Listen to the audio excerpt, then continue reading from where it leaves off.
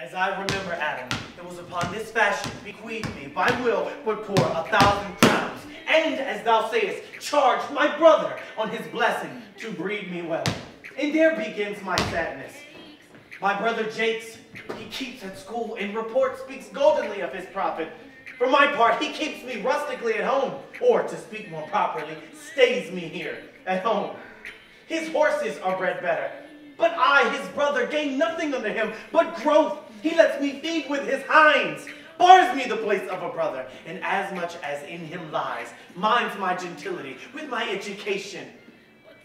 This is it, Adam, that grieves me.